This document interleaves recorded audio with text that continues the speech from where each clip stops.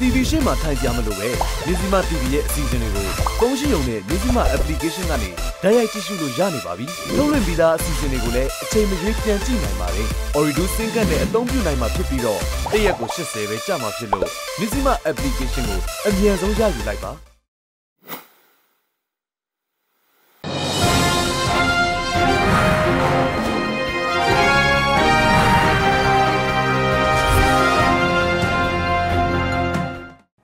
မင်္ဂလာပါခင်ဗျာမြစည်းမ TV ရဲ့နောက်ဆုံးရသတင်းတွေကိုတင်ဆက်ပေးတော့မှာပါ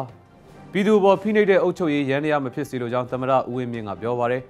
ကုလသမဂ္ဂဒုက္ခသည်များဆိုင်ရာမဟာမင်းကြီးမစ္စတာဖိလစ်ပိုဂရန်ဒီဟာနေရစွန်ခွာသူတွေဘေးကင်းစွာနဲ့ပြန်လာနိုင်ရေးမြန်မာအစိုးရနဲ့ဆွေးနွေးနေပါတယ်ခင်ဗျာအဲ့ဒီသတင်းတွေပါဝင်နောက်ဆုံးရသတင်းတွေကိုတင်ဆက်ပေးတော့မှာပဲဖြစ်ပါတယ်ပြည်သူလူထုကိုလွတ်လပ်လုံခြုံမှုနဲ့ပျော်ရွှင်မှုကိုသာဖန်တီးပေးလို့ပြီး ပြည်သူ့ဘော်ဖိနှိပ်တဲ့အုပ်ချုပ်ရေးရန်တရားမဖြစ်စေလိုကြောင်းနိုင်ငံတော်သမ္မတဦးဝင်းမြင့်ကပြောကြားလိုက်ပါတယ်။မေလ24ရက်နေ့ကပြုလုပ်တဲ့နေပြည်တော်ဌာနဆိုင်ရာဝန်ထမ်းများနဲ့တွေ့ဆုံပွဲမှာသမ္မတကပြောဆိုသွားတာပါခင်ဗျာ။မင်းမင်းကတင်ဆက်ပေးပါလိမ့်မယ်။ ခုဌာနဆိုင်ရာဖွဲ့စည်းအသီးသီးအကြီးအကဲတွေရောက်ရှိနေတဲ့လူတွေကကိုကုံနဲ့ကမပြုတ်ရင်မပြောင်းလဲပဲနဲ့သူများကိုပြုတ်ရင်ပြောင်းလဲမှုကသွားပြောနေလို့တဲတဲ့ရည်သွန်လိုပဲဖြစ်မှာအစိုးရအရာရန်တွေကိုပြုပြင်ပြောင်းလဲဖို့သမ္မတဦးဝင်းမြင့်ကသူ့ရဲ့မိန့်ခွန်းမှာခက်ကြမ်းကြမ်းလေးပြောသွားတာပါမေလ24ရက်နေ့ကနေပြီးတော့ကောင်စီကဌာနဆိုင်ရာအရာရန်တွေနဲ့တွေ့ဆုံပွဲမှာသမ္မတကအခုလိုပြောဆိုသွားတာဖြစ်ပါတယ်ကိုကုံနဲ့ကတော့မပြုတ်ရင်မပြောင်းလဲဘူးဟာလားဟိုဘယ်လိုပြောမလဲနိုင်ငံတော်ရဲ့ရာသုံးပန်ရာသုံးခံမှန်းကြီးငွေစင်းရနေပြီးတော့ ချပေးတဲ့ချင်းမြင့်ငွေအသုံးစိတ်လာစာအဆောင်အယောင်ပေါ်မှာတာယာနေမယ်ပျော်မွေ့နေမယ်ဆိုရင်အဲ့ဒါပြုပြင်ပြောင်းလို့မဟုတ်ပါဘူးကျွန်တော်ကိုယ်တိုင်နဲ့ကျွန်တော်ပြောပါမယ်ပေးတဲ့တောင်းကျွန်တော်ကြေပြောင်းတာထမ်းဆောင်နေတယ်ကျွန်တော်မตายရပါဘူးမပျော်မွေ့ပါဘူး ဝန်ထမ်းထဲမှာ informal လို့ခေါ်တဲ့သတင်းပေးတွေရှိနေတယ်လို့လည်းသမ္မတကပြောခဲ့ပါတယ် တချို့ကမဟုတ်ဘူးဝန်ထမ်းဟိုဝန်ထမ်းအနေနဲ့ဝန်ထမ်းတောင်းဝန်ထမ်းဟာကိုမဝန်ထမ်းမဖြစ်ဖဲနဲ့ ဟိုမျိုးဒီမျိုးဟိုသတင်းပေးဒီသတင်းပေးဟိုအချက်လက်ပေးဒီအချက်လက်ပေးရှိပါတယ်ကျွန်တော်ဒါကကောလာဟနာနဲ့ပြောတာမဟုတ်ပါဘူးကျွန်တော်လွတ်တော်ဥက္ခရာဘွားလာတယ်ကျွန်တော်သိတယ်ကျွန်တော်ဝန်နေပေးခဲ့ရတာတွေရှိတယ်ဖြစ်တယ်အားလုံးကဝန်ထမ်းဝန်ထမ်းစီမီစီကလိုက်နာ ဝန်ထမ်းကဝန်ထမ်းစီမီစီကလိုက်နာမလိုက်နာပဲနဲ့ informal လုပ်ချအကြောင်းမရှိပါဘူးအချို့ရေးနဲ့ဥပဒေပြုရေးမှန်တိုင်ကအပြန်အလှန်ထိန်းချောင်းမှုနဲ့လွတ်တော်ထဲမှာပြီးစွလေလာဖြေနေတဲ့ဝန်ကြီးတချို့ရဲ့အပြုမှုကိုလည်းသမ္မတကသတိပေးခဲ့ပါတယ်အုပ်ချုပ်ရေးပိုင်းမှာလည်းကျွန်တော်အဲ့တော့လွတ်တော်ဥက္ခရာဘွားတချို့ကလွတ်တော်ကိုယ်စားလှယ်ပဲသူကငါအစိုးရပဲအစိုးရပိုင်းပဲပြီးလဲစီးလဲပေါ့ငါဖြစ်ချင်တာဖြစ်မဲ့ဘာဂယူးဆိုင်စရာလိုလို့လဲပြီးလဲစီးလဲပြောပါတယ်နောက်ပြီးတော့ဘာလို့ခက်ဆက်ဆက်ကလေးခက်ဟောက်ကလေးသူကဖြေသွားသေးတယ်မလောက်ပါနဲ့ ဒါအပြန်လန်လေးစားတယ်ဒါအပြင်တရားစီရင်နဲ့ပတ်သက်လို့လည်းလွတ်လပ်ပြီးဗမလိုက်ဖို့နဲ့အုပ်ချုပ်ရေးနဲ့ပတ်သက်လို့တော့ပြည်သူကိုဖိနှိပ်တဲ့အုပ်ချုပ်ရေးမျိုးမလိုလားဘူးလို့သမ္မတကပြောဆိုခဲ့ပါတယ်ခင်ဗျာကျွန်တော်မင်းမင်းပါနေပြည်တော်ကနေသတင်းပေးပို့ထားတာပါကုလသမဂ္ဂဒုက္ခသည်များဆိုင်ရာမဟာမင်းကြီးမစ္စတာဖိလစ်ပိုဂရန်ဒီဟာရခိုင်ပြည်နယ်ခီးစဉ်ပြီးနေရစွန့်ခွာသူတွေဘေးအန္တရာယ်ကင်းစွာပြန်လာနိုင်ရေးအတွက်အကူအညီပေးနိုင်ရေးကိုမြန်မာအစိုးရနဲ့ဆွေးနွေးနေတယ်လို့သိရပါတယ်။ ရခိုင်နေရခီးစဉ်ပြီးမြန်မာအစိုးရနဲ့ရှေ့ဆက်မဲ့အစည်းအဝေးတွေအတွက်ဆွေးနွေးမှုတွေကိုပြုလုပ်ခဲ့တာပါ။နေရစွန့်ခွာသူများဘေးအန္တရာယ်ကင်းစွာပြန်လာနိုင်ရေးလိုအပ်တဲ့အကူအညီတွေအပြင်ယုံကြည်မှုတွေတိစောက်နိုင်ရေးတို့ကိုပံ့ပိုးပေးဖို့ပါလို့ကုလသမဂ္ဂဒုက္ခသည်များဆိုင်ရာမဟာမင်းကြီးမစ္စတာဖိလစ်ပိုဂရန်ဒီက Twitter မှာမေလ23ရက်ကရေးသားထားတာပါ။ပြီးခဲ့တဲ့မေလ20ရက်နေ့နေ့လယ်တနာရီကရခိုင်ပြည်နယ်စစ်တွေမြို့ကိုရောက်ရှိလာခဲ့ပြီးနှစ်ရက်တာခီးစဉ်တွင်မောင်တော်မြို့နယ်ကမွတ်စလင်ဒုက္ခသည်ပြန်လည်လက်ခံရေးစခန်းအချို့ကိုတွားရောက်ခဲ့ပြီး စစ်တွေမြို့ကဓားပိုင်ကယ်ဆယ်ရေးစခန်းနဲ့ဘာဆာရာကျေးရွာတွေကိုတွားရောက်ခဲ့တာလည်းဖြစ်ပါတယ်။အဲ့ဒီခီးစဉ်ပြီးမေလ23ရက်မှာပြည်ပဆိုင်ရာပူးပေါင်းဆောင်ရွက်ရေးဝန်ကြီးဌာနပြည်ထောင်စုဝန်ကြီးဦးကျော်တင်နဲ့နေပြည်တော်မှာတွေ့ဆုံပြီးရခိုင်ပြည်နယ်မှာ UNDP နဲ့ UNHCR တို့ဆောင်ရွက်နေတဲ့အသေးစားစီမံကိန်းတွေကိုကောင်ထည်ဖော်ရေးကိစ္စနိုင်ငံသားစီစစ်ရှင် National Verification Card ထုတ်ပေးရေးနိုင်ငံသားဖြစ်ခွင့်ရရှိခြင်းလွတ်လပ်စွာသွားလာခွင့်ရရှိရေးစတဲ့ကိစ္စရပ်တွေကိုဆွေးနွေးခဲ့တာပါအဲ့ဒါပြင်နိုင်ငံတော်၏တိုင်ပင်ခံပုဂ္ဂိုလ်ဒေါအောင်ဆန်းစုကြည်နဲ့လည်းတွေ့ဆုံပြီး မြန်မာအစိုးရကုလသမဂ္ဂဖွံ့ဖြိုးမှုအစီအစဉ် UNDP နဲ့ကုလသမဂ္ဂဒုက္ခသည်များဆိုင်ရာမဟာမင်းကြီးရုံး UNHCR တို့ကြား2018ခုနှစ်ဇွန်လ6ရက်ကလက်မှတ်ရေးထိုးခဲ့တဲ့နားလည်မှုစာချုပ်လာတက်တန်တိုးမြင့်ရေးထိုင်းမြန်မာနယ်စပ်ရှိယာယီစခန်းတွေမှာနေထိုင်လျက်ရှိတဲ့မိမိဆန္ဒလျောက်နေရပြန်လို့သူမြန်မာနိုင်ငံသားများကိစ္စအပြင်မြန်မာနိုင်ငံအစိုးရမှဆောင်ရွက်နေတဲ့ငြိမ်းချမ်းရေးနဲ့ဖွံ့ဖြိုးတိုးတက်ရေးလုပ်ငန်းတွေမှာ UNHCR မှကူညီပံ့ပိုးပေးနိုင်မယ့်ကိစ္စတွေကိုဆွေးနွေးခဲ့ကြပါတယ်။ Mr. Filippo Grandi ဟာပြီးခဲ့တဲ့2019ခုနှစ်အာဆာချမ်ပတ်ဖြစ်စဉ်နောက်ပိုင်းမှာလည်းရရခိုင်ပြည်နယ်ကိုတစ်ကြိမ်ရောက်ရှိလာပြီးမောင်တော်ဒေသကဖြစ်စဉ်တွေကိုတွားရောက်လေ့လာစုံစမ်းခဲ့သေးတာပါအာဆာတိုက်ခိုက်မှုဖြစ်စဉ်ပြီးတပ်မတော်မှနေမီရှင်းလင်းရေးလှုပ်ဆောင်ရမှာလဲဘင်္ဂါလီမွတ်စလင်လူဦးရေ9သိန်းခန့်ဘင်္ဂလားဒေ့ရှ်ဘက်ကိုထွက်ပြေးသွားခဲ့တာပဲဖြစ်ပါတယ်ခင်ဗျာနောက်တဲ့သတင်းတစ်ပုဒ်အနေနဲ့ပြီးခဲ့တဲ့2018ခုနှစ်မေလအတွင်းကရန်ကုန်မြို့တာမွေမြို့နယ်မှာစစ်ပွဲတွေရပ်ဖို့အတွက်ပြုလုပ်ခဲ့တဲ့ဆန္ဒပြမှုနဲ့ပတ်သက်ပြီး အမှုဖွင့်တရားစွဲဆိုခံရသူ18ဦးကိုမေလ24ရက်နေ့ကရန်ကုန်မြို့ဗဟန်းမြို့နယ်တရားရုံးမှာရုံးထုတ်စစ်ဆေးခဲ့ပါတယ်။ဒီအမှုကတော့ရုံးချိန်ပေါင်း34ချိန်ရှိလာပြီလည်းဖြစ်ပါတယ်ခင်ဗျာ။ရဲနိုင်ကပြည်စုံကိုဆက်လက်ပြောပြသွားပါလိမ့်မယ်။တနစ်ကျော်ရှိခဲ့ပြီးဖြစ်တဲ့စစ်ပွဲတွေရပ်ဖို့အတွက်တာဝန်မြို့နယ်မှာစန္ဒပြခဲ့တာနဲ့ပတ်သက်ပြီးအမှုဖွင့်ခံရသူ18ဦးကတော့လက်ရှိချိန်ထိအမှုရင်ဆိုင်နေရဆဲဖြစ်ပါတယ်စစ်ပွဲတွေရပ်ဖို့အတွက်စန္ဒပြရမှာပါဝင်ခဲ့တာကြောင့် အမှုဖွင့်တရားစွဲဆိုခံရတဲ့18ဦးရဲ့အမှုကိုမေလ24ရက်နေ့ဗဟန်းမြို့နယ်တရားရုံးမှာရုံးချိန်34ချိန်မြောက်ရုံးထုတ်စစ်ဆေးခဲ့ပါတယ်2018ခုနှစ်အတွင်းကရန်ကုန်တိုင်းဒေသကြီးအစိုးရအမိန့်နဲ့မြို့နယ်17မြို့နယ်အတွင်းဆန္ဒပြမှုပိတ်ပင်ခဲ့ပြီးအဲ့ဒီမြို့နယ်တွေမှာဆန္ဒပြဖို့အတွက်လာလျှောက်ခဲ့ရင်တော့တာမွေဟစ်တိုင်ကိုပို့ပါဆိုပြီးညွှန်ကြားခဲ့တာဖြစ်တယ်လို့သိရပါတယ်။ဒါပေမဲ့ညွှန်ကြားချက်ထွက်ပြီးတဲ့နောက် ဆန္ဒပြပွဲနှစ်ပွဲခန့်ကိုခွင့်ပြုပေးခဲ့ပြီးမှစစ်ပွဲများရပ်ဖို့အတွက်တာမွေမြို့နယ်မှာပြုလုပ်ခဲ့တဲ့ဆန္ဒပြမှုကိုခွင့်ပြုပေးခဲ့ခြင်းမရှိဘဲအမှုဖွင့်အရေးယူခဲ့တာကဥပဒေအရဒဏ်လူညီများမှုမရှိခဲ့တဲ့အချက်ဖြစ်တယ်လို့ဆွဆွဲခံရသူများဖက်ကရှင်းနေကပြောဆိုခဲ့ပါတယ်။အဲ့ဒီညွှန်ကြားချက်နဲ့သူတို့ကဒါတို့ဒီမှာဆန္ဒပြပွဲမပေးတာချင်းဖြစ်ပါတယ်လို့သူတို့ကပြောတာရှိတယ်ပေါ့နော်။သို့တော့ကျွန်တော်တို့ဘက်ကလည်းရန်ကုန်တိုင်းဒေသကြီးအစိုးရအဖွဲ့အမိန့်ညွှန်ကြားချက်ဥပဒေမဟုတ်ဘူး။ ဥပဒေမဟုတ်ဘူး။ဥပဒေကိုကြော်လို့မရဘူး။ဖွဲ့စည်းပုံကိုကြော်လို့မရဘူး။ဒါကျွန်တော်တို့နိုင်ငံသားအခွင့်အရေးသာဖြစ်တယ်။နောက်တစ်ခုကဆန္ဒပြခွင့်ဒီအမိန့်ညွှန်ကြားချက်ထွက်ပြီးမှဆန္ဒပြခွင့်ဆန္ဒပြတာ၄ချိန်ရှိတယ်။နှစ်ဖွဲ့ဖမ်းတယ်နှစ်ဖွဲ့မဖမ်းဘူး။တစ်ဖွဲ့ကမီဒီယာလွတ်လပ်ခွင့်အခွင့်အရေးအတွက်ဆန္ဒပြတမှုရှိပါတယ်။နောက်တစ်ခုကကြတော့ဒီဒီဂျားကာလာထဲမှာကျွန်တော်အဲတက်မတော်စစ်တပ်မတော်ထောက်ခံပွဲဆိုရယ်ဆန္ဒပြပွဲတစ်ပွဲရှိပါတယ်။အဲ့နှစ်ပွဲကိုခွင့်ပြုချက်ပေးပြီးတော့ဒီပွဲကိုခွင့်ပြုချက်မပေးတာဟာခွင့်မပြုဘူးဆိုတာ ဒါဒန်းတူညီများမှုမရှိဘူးဥပဒေရမှာ2008ဖွဲ့စည်းပုံအခြေခံဥပဒေကိုကြိုက်သည်ဖြစ်စေမကြိုက်သည်ဖြစ်စေဒီထဲမှာပေးထားတဲ့လွတ်လပ်ခွင့်အခွင့်အရေးပဲဖြစ်တယ်ဒါကတော့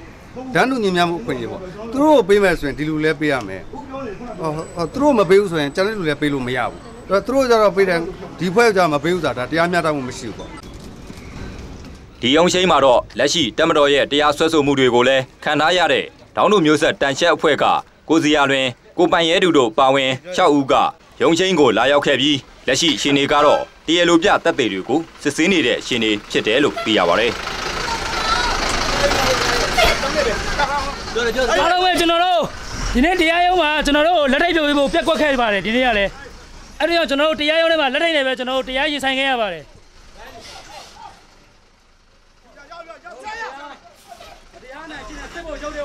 အာ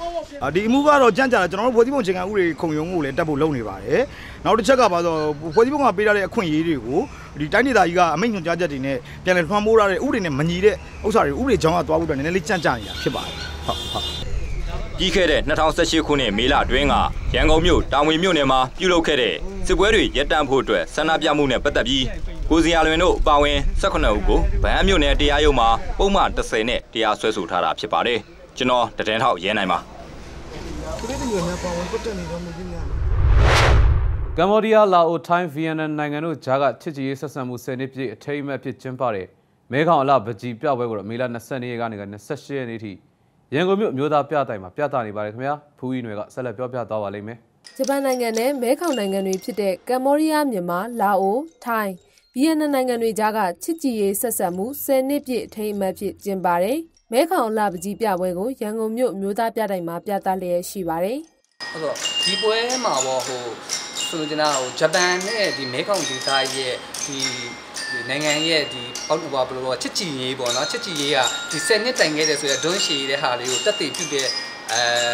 ခိုင်မာတဲ့ဆိုတဲ့သဘောတရားလည်းပြနိုင်တယ်လို့ဒီပွဲမှာဒီနိုင်ငံတွေကအာ artist တွေကနေပေါ့ပုံပြထားတဲ့အတွက်ကြောင့်မတူညီကွဲပြားတဲ့ဂျပန်နဲ့မဲခေါင်ဒေသက artist တွေရဲ့ဟိုလက်ရာတွေကိုလည်းတခါတည်းဟိုဘယ်လိုမှဆိုတော့ပူပေါင်းပြီးတော့တခါတည်းတွေ့ပြီးတော့မြင်တွေ့ခံစားနိုင်မှာပေါ့နော်ဟုတ်ကဲ့။ပြပွဲမှာတော့ဂျပန်နိုင်ငံကိုစားပြုတိုကျိုအမှုပညာတက္ကသိုလ်ကပညာရှင်တွေရဲ့ပကြီးပပုလက်ရာများရွန်းတယ်လက်မှုအမှုပညာများ မဲခေါင်ဒေသနိုင်ငံ၅နိုင်ငံကဓာတ်ပုံနဲ့ပကြီးလက်ရာများစတဲ့အမှုပညာလက်ရာအခု90ကိုပြသထားတာပါ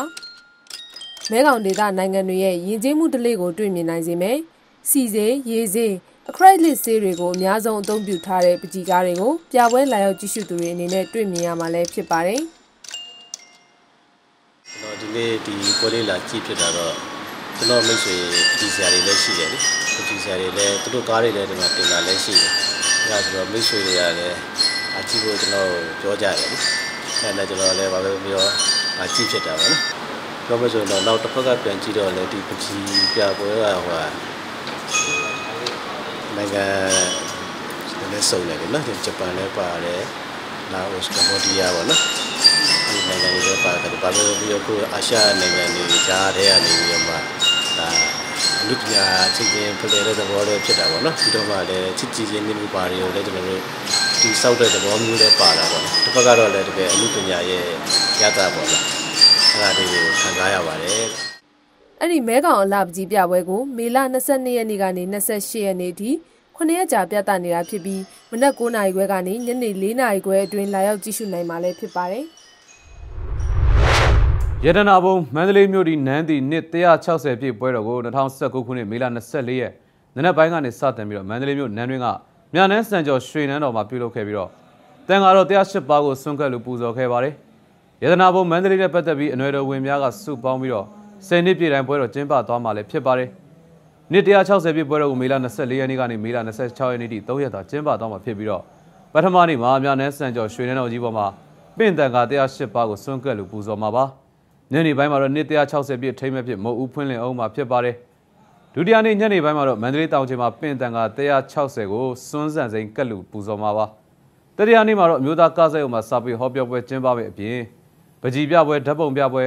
စောင်းပါဝတ္ထုတို့ကြပြပြိုင်ပွဲတွေနဲ့လူလူဖျော်ဖြေပွဲပျော်ပွဲရှင်ပွဲတွေကိုထည့်သွင်းကျင်းပသွားမှာလည်းဖြစ်ပါတယ်ခင်ဗျာ။ဘူဘူကရိုက်ကူပေးပို့ထားတာပါ။အားကစားသတင်းတွေကိုလည်းတင်ဆက်ပေးချင်ပါတယ်ခင်ဗျာ။လီဗာပူးသင်းဟာ2018-2019ရာသီပရီးမီးယားလိဂ်မှာ live ရုပ်တံထုတ်လွှင့်မှုမှာအများဆုံးဖြစ်ခဲ့ပြီးတဲ့နောက်စုစုပေါင်းဝင်ငွေပေါင်150တန်းကျော်ရရှိခဲ့ပြီးချန်ပီယံ Manchester City ထက်ကိုပေါင်1.44တန်းပိုများခဲ့ပါတယ်။ပြီးခဲ့တဲ့ရာသီကအသင်းစံချိန်တင်ရမှတ်68မှတ်နဲ့ဒုတိယနေရာမှာရပ်တည်ခဲ့တဲ့ Liverpool အသင်းဟာ Sky Sport ဒါမှမဟုတ် BD Sport တို့မှာ live ပွဲစဉ်ရုပ်တံထုတ်လွှင့်မှု29ချိန်နဲ့အများဆုံးဖြစ်ပြီးတော့ Man City ထက်3ချိန်ပိုများတာလည်းဖြစ်ပါတယ်။ Guardiola ရဲ့ City ဟာ Premier League ချန်ပီယံဖြစ်အမှတ်ပေးစရာထိပ်ဆုံးမှာရပ်တည်ခဲ့တဲ့စွမ်းဆောင်ရည်အတွက် စုကြည်ပေါင်38.4တန်းနဲ့ကလပ်ရဲ့လီဗာပူးထက်ပေါင်2တန်းနီးပါးပိုရရှိထားတာပါအမတ်ပေးစရာအောက်ဆုံးမှာရပ်တည်ပြီးတော့တန်းစင်းသွားခဲ့ရတဲ့ Huddersfield ရဲ့ဝင်ငွေပမာဏကတော့မှပေါင်96.6တန်းအထိကိုရှိနေခဲ့ပါတယ်ပြီးခဲ့တဲ့ Premier League ကလပ်အသင်း20လုံးဟာခွဲတန်းစုချင်းငွေဖြစ်ပေါင်34.4တန်းဝန်းကျင်ညီတူညီမျှရရှိခဲ့တယ်လို့နိုင်ငံတကာမှာရုပ်သံထုတ်လွှင့်မှုကနေပြီးတော့ပေါင်43.2တန်းစီနဲ့ Central Commercial ဝင်ငွေပေါင်9တန်းရရှိခဲ့တယ်လို့သိရပါတယ်ခင်ဗျာ အာရှဒေသမှာပထမဆုံးဖြစ်လိန်သူချစ်သူဇုံတွဲချင်းလက်ထပ်ထိမ်းများခြင်းခန်းနာတွေကိုမေလ24ရက်ကထိုင်ဝမ်မှာကျင်းပခဲ့ပြီးတမိုင်းဝင်နေ့တဲ့နေ့ကိုမှတ်တမ်းတင်လာနိုင်ပြီပဲဖြစ်ပါတယ်။လိန်သူလက်ထပ်ထိမ်းများခွင့်ကိုတရားဝင်အတည်ပြုခွင့်ပြုလိုက်ကြောင်းပြီးခဲ့တဲ့ဘက်ကထိုင်ဝမ်ဥပဒေပြုအာဏာပိုင်တွေကဆုံးဖြတ်ချမှတ်ပေးလိုက်ပြီးတဲ့နောက်မှာတော့အခုလိုမျိုးလိန်သူလက်ထပ်ပွဲတွေကိုကျင်းပလာတာလည်းဖြစ်ပါတယ်။လိန်သူချစ်သူဇုံတွဲတွေဟာတရားဝင်လက်ထပ်မှတ်ပုံတင်မှုဖြစ်ကျင်းပဆင်နွှဲဖို့အတွက်တိုင်ပေမြို့လည်းအစိုးရရုံးတရုံးမှစုဝေးရောက်ရှိနေကြတာပါ။အခုလိုမျိုးလိန်သူချင်းလက်ထပ်ထိမ်းများပွဲတွေတွင် တရားဝင်လက်ထပ်လိုက်ကြတဲ့လိန်တူချစ်သူဇုံသွဲတွေဟာသတင်းမီဒီယာတွေရှေ့မှာလည်းပွေဖက်နန်းပြခဲ့ကြသလိုသူတို့တွေရဲ့တရားဝင်လက်ထပ်စာချုပ်တွေကိုလည်းဂုဏ်ယူစွာနဲ့လေထဲမြောက်ပစ်ခဲ့ကြပါတယ်။နောက်တဲ့သတင်းတစ်ပုဒ်အနေနဲ့ရထားတွေပေါ်မှာအမျိုးသမီးတွေကိုလိန်ထိပါစော်ကားသူတွေကို၆လန့်ထုတ်တဲ့တိုကျိုရဲဌာနရဲ့ smartphone application ကတော့ဂျပန်နိုင်ငံမှာတော်တော်လေးကိုအသုံးဝင်သွင်းကျလာပါပြီ။ရုံတက်ရုံစင်းချိန်လူကျက်တဲ့ရထားတွေပေါ်မှာအချိန်ကြာကြီးစီးနှင်းရတဲ့အမျိုးသမီးတွေကိုလိန်ထိပါစော်ကားမှုတွေရှိနေတဲ့ဂျပန်နိုင်ငံမှာ Digipolis application ကို download ဆွဲသူပေါင်း2,38000ကျော်အထိကိုရှိလာတာပါ။ရထားပေါ်မှာလိန်ထိပါခံရတဲ့အမျိုးသမီးတွေအနေနဲ့အဲ့ဒီ application ကိုအသုံးပြုရင်ဒီလိုလုပ်နေတာကိုရက်လိုက်ဆိုတဲ့ကြေလောင်တဲ့အတန်ထွက်ပေါ်လာသလိုအခြားခီးသည်တွေသိအောင်ပြသနိုင်တဲ့အကူအညီတောင်းတဲ့ SOS message လည်းဖုန်းမျက်နှာပြင်အပြည့်ကိုပေါ်လာမှာဖြစ်ပါတယ်။ဒီနေရာမှာလိန်ထိပါကျူးလွန်သူရှိနေတယ်ကျေးဇူးပြုပြီးကူညီကြပါဆိုတဲ့စာသားပေါ်လာမှာပဲဖြစ်ပါတယ်။ဗီဒီယိုဝန်ဆောင်မှု application တစ်ခုအနေနဲ့မကြုံစဘူး download ဆွဲသူများပြားလွန်းလာတာဖြစ်ကြောင်းလည်း ရဲရရှိအမျိုးသမီးဖြစ်တဲ့ KE ကိုတိုယာမီနီကလည်းပြောပါတယ်အမျိုးသမီးတွေကဒီလိုရက်ထားတွေပေါ်မှာလိန်ထိပါခံရရင်အကူအညီတောင်းဖို့ပါဇက်ကပြောမထွက်နိုင်ပဲကြောက်နေတာမျိုးဖြစ်တတ်ပါတယ်ဒီ application က SOS message မှုကိုသုံးပြီးတော့အတန်တိတ်ကျူးလွန်ခံနေရတဲ့အကြောင်းကိုအခြားခီးသည်တွေသိရှိအောင်အတန်တိတ်ချက်ပေးနိုင်တာဖြစ်ပါတယ်လို့လည်းသူကပြောဆိုခဲ့ပါတယ်ဂျပန်နိုင်ငံမှာအဲ့ဒီလိုရက်ထားပေါ်မှာလိန်ထိပါစော်ကားသူတွေကိုထောင်ဒဏ်6လဒါမှမဟုတ်ရင်ငွေဒဏ်ရန်9သိန်းအမေရိကန်ဒေါ်လာ9500အထိဒဏ်ရိုက်လိရှိပါတယ် အကြမ်းဖက်တာချင်းချောက်တာတွေပါကျူးလွန်ရင်တော့ထောင်ဒဏ်10နှစ်ထိကိုချမှတ်ခံနိုင်ရတာပဲဖြစ်ပါတယ်ခင်ဗျာမြစီမ TV ရဲ့နောက်ဆုံးရသတင်းတွေကိုတင်ဆက်ပေးခဲ့တာပဲဖြစ်ပါတယ်ခင်ဗျာဆက်လက်ပြီးတော့မြစီမ TV ရဲ့အစီအစဉ်ကောင်းတွေကိုကြည့်ရှုကြပါလို့ပြောကြားရင်းနဲ့ပြည်သက်များလုံးပဲစိတ်ချမ်းသာခြင်းကိုယ်ကြီးကျန်းမာခြင်းနဲ့ပြည့်စုံနိုင်ကြပါစေခင်ဗျာကျွန်တော်ကတော့ဆက်ဝေရနိုင်ပါ